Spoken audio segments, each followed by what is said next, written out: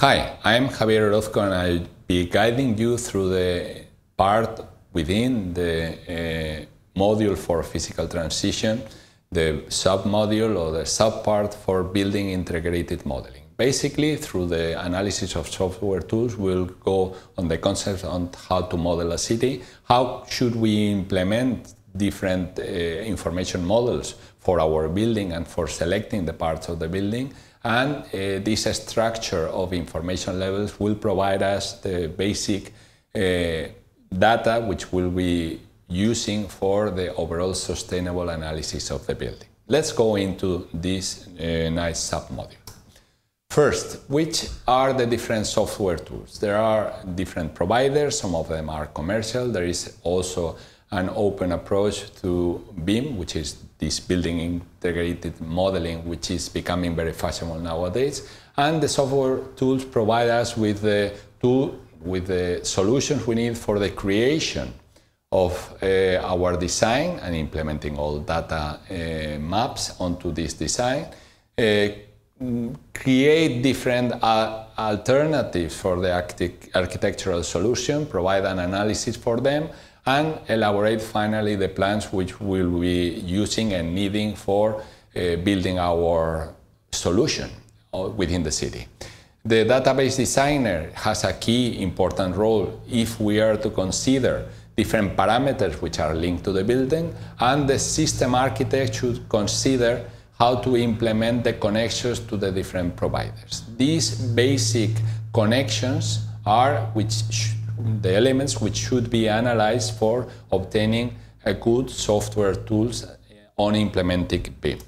Next step, we should provide an enabler which uh, performs the actual design of the database and the different elements, and then go through the different solutions and transitions on the early design for the database, because this will solve most of the problems and provide uh, understandable, graspable model, which is a very good implementation and therefore the basis for a good solution which is sustainable for our purposes.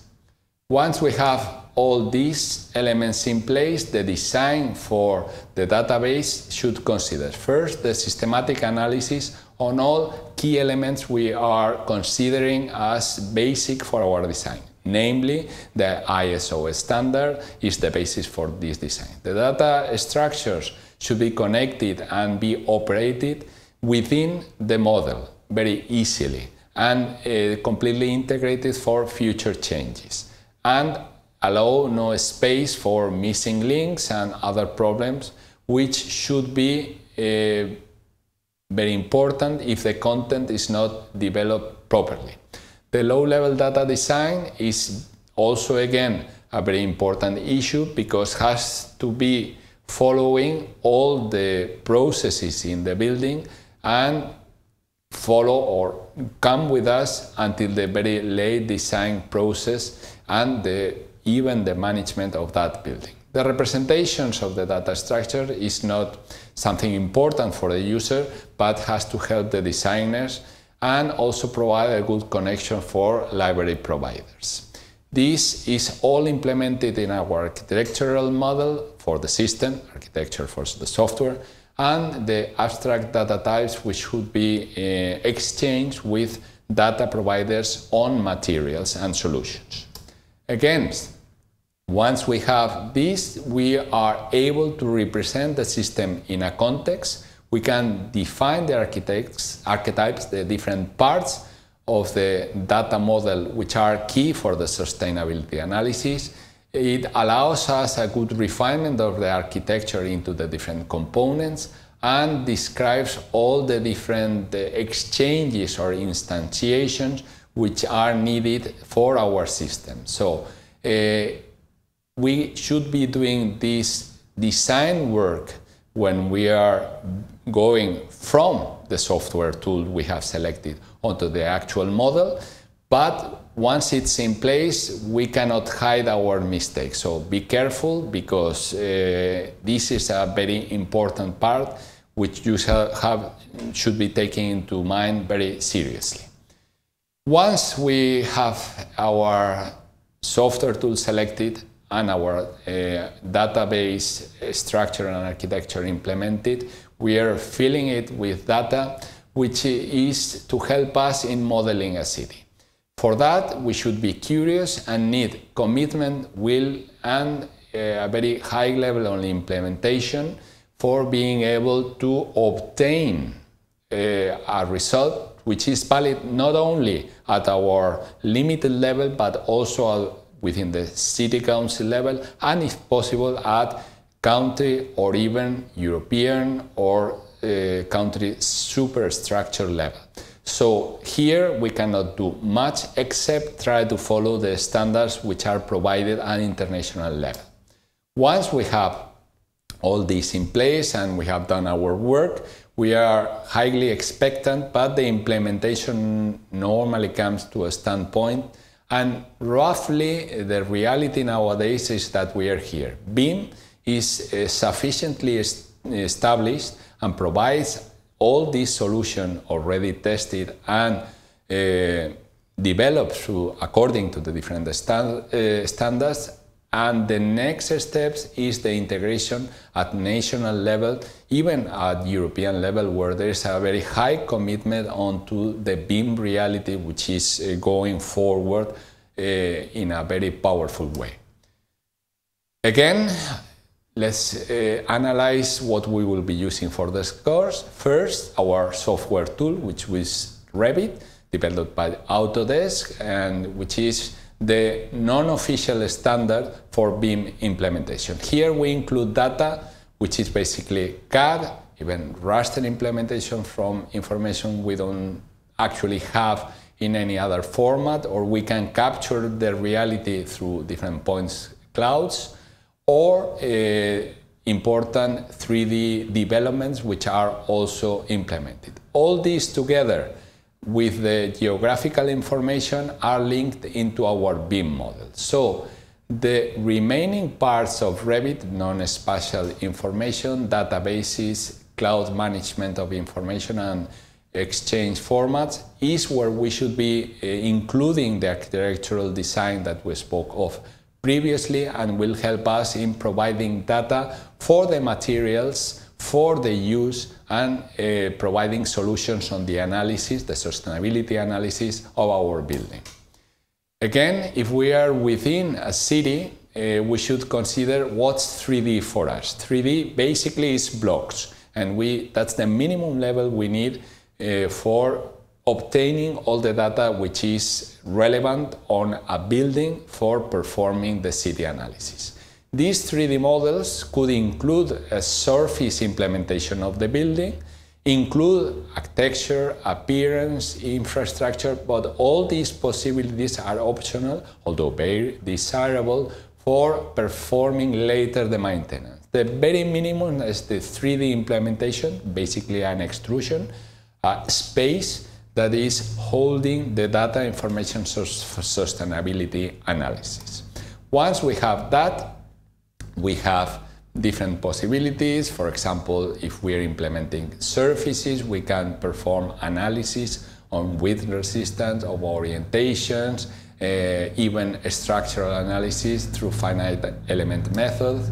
In solid, we can include also uh, solutions for materials. We can include the different multi-solutions for performing the design and the optimization of the materials. And including in all these elements, which are basically the design, the detailed design of the building, the geometric properties for obtaining, for example, the budget for our building, or all the data which is needed not only for mechanical analysis, but also for the sustainability implementation. Here we have two solutions which you can find on our website, uh, the detailed models, for example, for the city of Berlin and the city of Karlsruhe, where all the information has been implemented for only a block of buildings, including all the basic data for sustainability analysis. Again, remember, the modeling of a building will include or will possibly include the structural information, mechanical analysis, the design, which is or could be parametric for uh, performing uh, desirable analysis, and also uh, a database which is connected to all that for uh, being able to obtain the measurements. The database basically is materials information. We join in this information with some other data for maintenance analysis and for quality standards and produce uh, an document, an electronic document, which can be shared with contractors and subcontractors for performing the implementation of the building. Once we have all this in place, we include some other elements, for example, the data uh, enablers, the data enrichments, for uh, assessing uh, connections of our building to the support systems and contractors, to um, providers of electricity, gas, uh, water, and so on, and also obtain uh, a whole image which is the as is uh, image of our design of our building. Here we will be able to perform our life cycle cost analysis through the methodology that has been introduced on this course and be able to obtain a picture for all the individual buildings or even for the city. So the building information model is a 3D drawing which includes some additional information and can include many different solutions, either capital cost, time programs, life cycle analysis, facilities management. We are interested only in this part, the life cycle analysis, which is linked to the embodied carbon, because that's what will provide us with an image of the solution and of the city and its evolution through use and time. Again, this is the overall final implementation of the different layers, including the subsystems for our model on the building, which can be embodied at uh, envelope 3D mm, model only, and which provides us with all these possible solutions. Again, we are only interested in using standard data, which can be connected to different uh, clients or providers, and this standard information will be able to analyze all the different solutions of the performance of the building as is. Uh, here we will have uh, examples of a building and how the databases are including data, for example, capital uh, rates, carbon reduction, capital allowances, and so on. So this is a full implementation which can be met in one of the different models we have shared before. It is also possible to include module, modular information for parametric design, even energy solutions into our design. All these will develop the overall Revit file, including the different facilities, and which you will not have to deal specifically because it has already been be pre-prepared from the, the architectural design of the database that you made previously. Later, we will obtain the results in, for example, Excel format and perform an analysis that can include all the different layers, not only the occupation layer, but also the green infrastructure and uh, sub uh, level subsurface information which might be relevant. Here you can have in, on this link a very nice example of the different information layers that you can include beyond the actual model that we implemented on this course. Again, this is a very quick summary of the course. You should go into the detailed implementation of the course and the different slides and do the exercises in order to be able to work forward on the project. Thank you very much.